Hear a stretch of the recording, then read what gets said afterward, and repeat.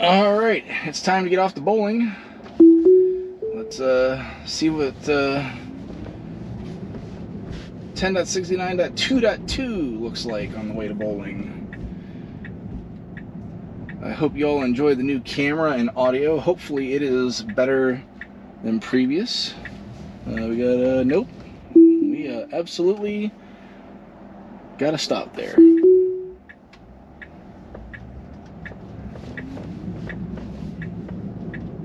I did not feel good about that. Um,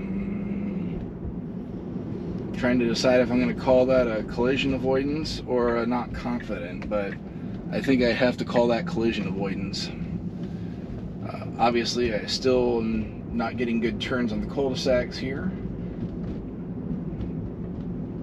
But I showed you that in the first drive, so no surprises there really.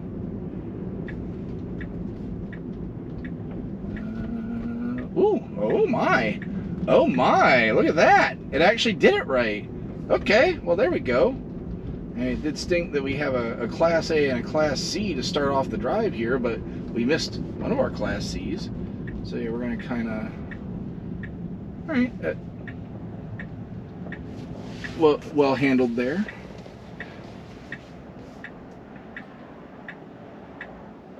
So we gotta wait for this guy in front of us here. Turn. Uh, if it pulls up real quick, uh, we have an opening here. If it wants to do its job here, yeah, come on, come on. You got plenty opening. There we go.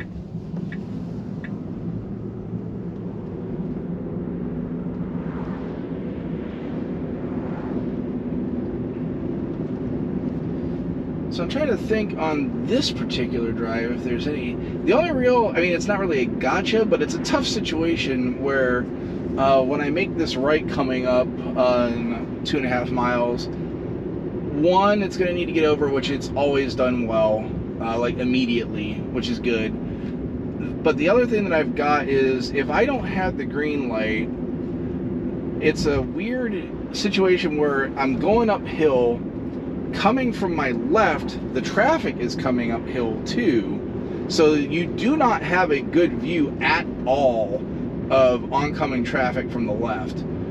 And it's it's a challenging intersection to be certain. Not something like if it fails this intersection, it's not anything that I'll be like, why in the world did it fail? Because it is absolutely not a not a good time to be certain. Like human drivers have a problem seeing properly. Like I can see it out, like if I know what I'm looking at, but I don't know that the car is going to know what it's looking at to see the oncoming traffic's kind of coming, like you can kind of, it's weird, it's very hard to describe. You can kind of see a slice of traffic coming up over the hill because of a gas station that's over here and you can kind of see through to what traffic would be coming up. But I don't know if the car A can even see that, or B, if it does, like I could see that the AI might ignore that traffic because it can't necessarily see that that traffic is on the road. It might just think that that's general movement that doesn't matter to it. So we'll see when we get up there if we end up having to deal with that situation or if uh, we'll just be going right on through it or not.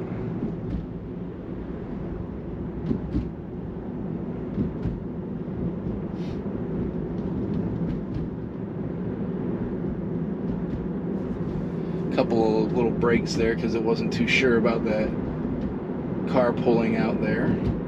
Seems to be getting a little more confident, though this Mercedes in front of me needs to get over, which it does. No issues.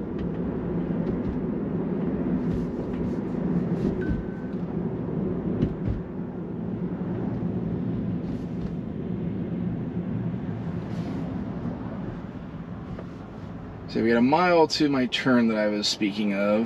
And again, this is uneventful mileage. Again, as you might be able to see out my mirror, out the uh, window here, absolutely marked turning lane, nothing on the visualization. I did see an arrow on the visualization the other day, oddly enough.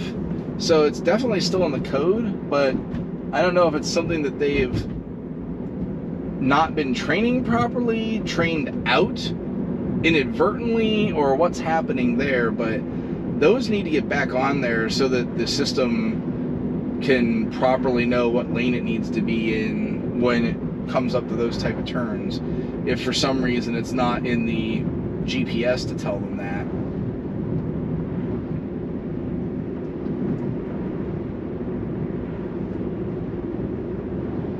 Alright, we're going to over this hill, and as we're coming down, we'll, it'll split into a two lane uh, each way.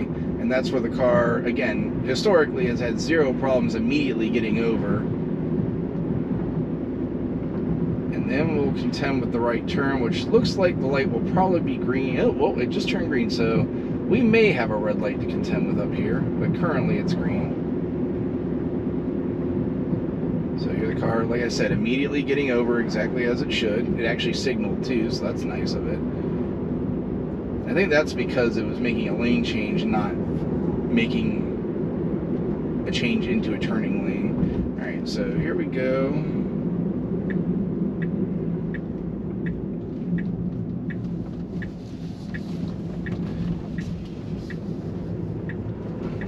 Made a bit of a rough turn there. I might have confused that Infiniti.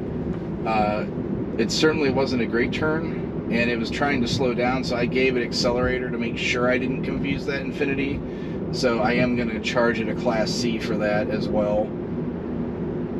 So we have an A and two C's and I did have to disengage for that class A to make sure I didn't uh, end up in an accident. So no bonus points for this drive either unfortunately.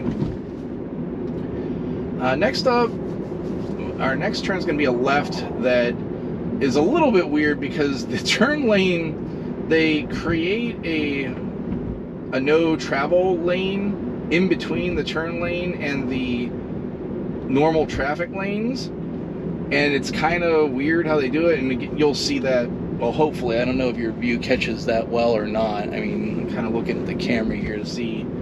I don't know if uh if it'll pick that up well or not but in a little over a mile we'll have that turn. Now hopefully again my complaint about route planning here we're gonna when we get through this light we're gonna be less than a mile to where we need to make the turn and we need to be in the right lane or sorry the left lane to do so. And I hate that it waits to the last possible second to get over. We have a clear lane. It knows it needs to make a left up here it also should know from GPS that there is no reason this lane will close. So we should be getting over like now.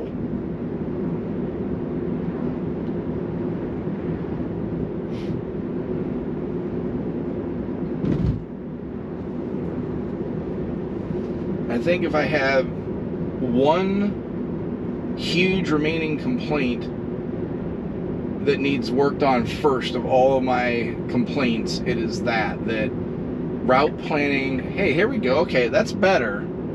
So we're gonna change change lane to follow route. Four tenths of a mile out. All right, that's not bad. I mean, I will take that. It saw that again. We had no no worries about getting over to this lane, so I'm happy with that actually. But I don't understand why it does that here perfectly. Like this was a that was a good move to make. And then in other instances, like I'm like 300 feet from the turn and it decides to make that move. All right, so here's the weirdness coming up here.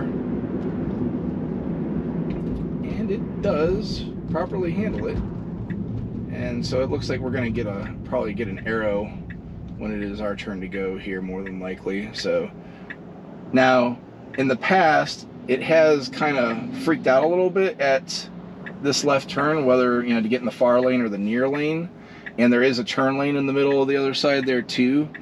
So let's see how it does because I I received 10.69.2 before or I mean after my last time going to bowling, so I have not seen this turn on the new software at all yet. Whether the polished and patched uh, 10.69.2.2 or the 10.69.2 on its own hopefully this is better and i think it will be better just because again part of the problem is it handling oncoming traffic while dealing with a left turn. And in this version, at least this minor release version in 10.69, it is so much better at handling that than prior. It's not even funny. So here we go. We're gonna make this turn. It's gonna watch this car that's also turning onto here. And we're gonna make a very pretty left-hand turn. Nicely done. That was absolutely a coin flip prior to this new new minor release.